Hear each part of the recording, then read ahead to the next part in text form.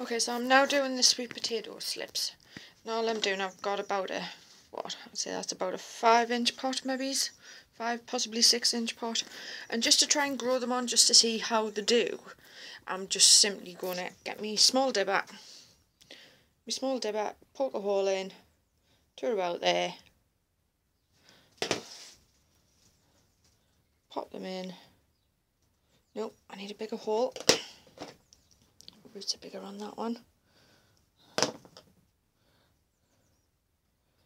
Pop them in or about there. Firm it down gently. Basically, I'm just going to do that for them for you and just see how they grow on. Um, like I say, sweet potatoes are an experiment. They normally like to grow in uh, very warm climates, which we don't have. Um, but let's see what happens. Um, I'm maybe going to go try and grow them like the potatoes in a jelly bucket, but in the greenhouse, just to see. Right. I'll carry on and then we'll come and have a look when I'm done. Right, so that's all the jobs done for today. Um, sunflowers are potted on, the black currants now in a pot. Um, I've got the spinach beet and the little gem lettuce in their pots as well. They just need hardened off now. Everything basically on this table just needs hardened off. Um, what we've got there, cucumbers are potted on, so the peppers, um, all that's tomatoes and marigolds now, and a few peppers at the back.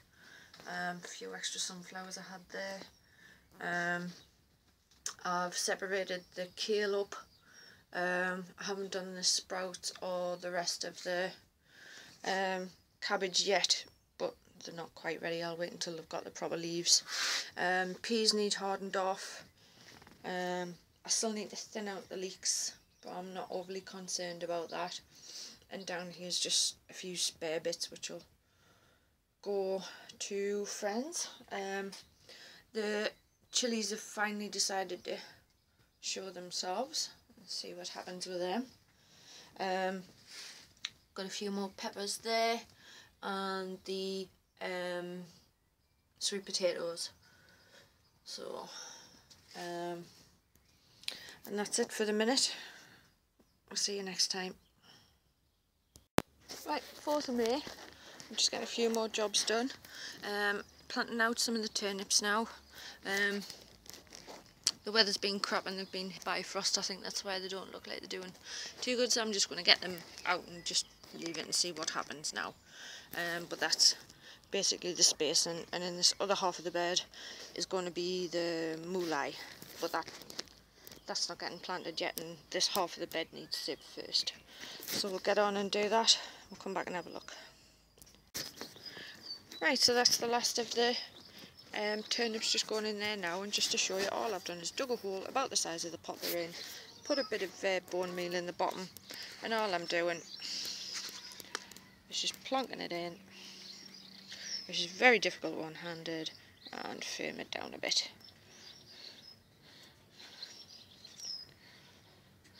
Not too much. There we go. So that's all of those in.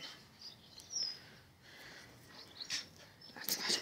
On to the next job Right, so that's hubby's half of the compost, uh, the carrot box done with his compost. Um, he's done slightly different to mine, um, whereas I've got verve, homemade and clover, two rows of each. He's done the same, but all mine have bloodfish and bone in. His has alternate um, calcified seaweed in it. So that's just clover, this row here. That's clover with calcified seaweed. That's verve.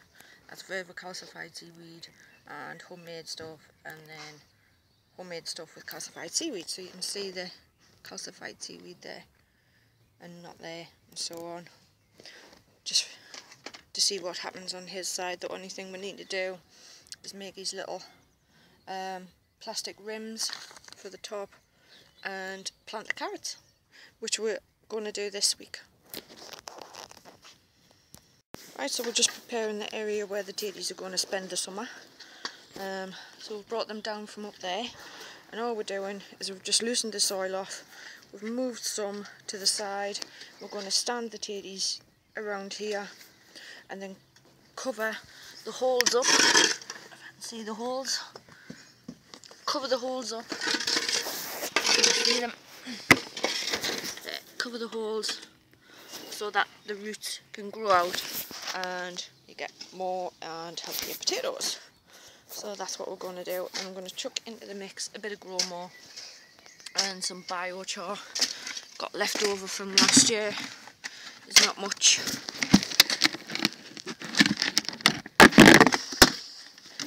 There is a bit. So I'll chuck that into the mix as well. Right so that's the tatties done. So they're just set the place and earthed up at the bottom so that any roots that come out can go down, get extra nutrients. We'll put biochar, chicken manure pellets and Growmore on the bottom. So there's nutrients when the roots come out as well. So that's them in place now. It's another job done. Okay, so it's now the 3rd of May and I'm just checking on the sweet potatoes and I've actually just pulled a few slips off. Since January I've, ha I've had these sweet potatoes in water um, trying to get some slips off them. And four months later and just got some there. Um, mainly did this as an experiment to see if up here in the northeast of England you could grow sweet potatoes. Um, or at least get the slips. And so far it's took four months to get them to this stage here um, and there's still a few slips on there but they're not ready yet. What I might do is because I've just seen on YouTube that you pull the slips off and put them in water so I might pull a few more off that have that haven't got roots and put them in water and these few that have got roots I might take out and plant now in a small pot to see how they come on. Um, I just wanted to show you that quickly and we'll see what happens this year. Like I said, this is more of an experiment more than anything else. If I get even half of a result this year, I'll start them off earlier next time. So say like this year I'll start them off in November in the water. So the, the slips are progressed further by the time it gets to this point. But let's see what happens this year. Okay, so some more jobs for the 3rd of May. Um, some general housework in the greenhouse because it's a mess and needs tidied up. Um, blackcurrant which I just got from B&Q for an absolute steal, 50 pence. Um, I'm going to pop that on. I've just had it sitting in some water for now. Um, I'm going to put them on. Put them in pots, I should say. The slips off the sweet potato. Um,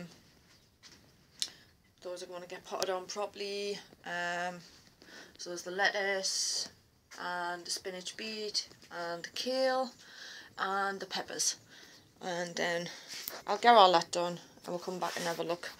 There's not really much else to do because outside it's horrible and raining and I'm not going outside in that.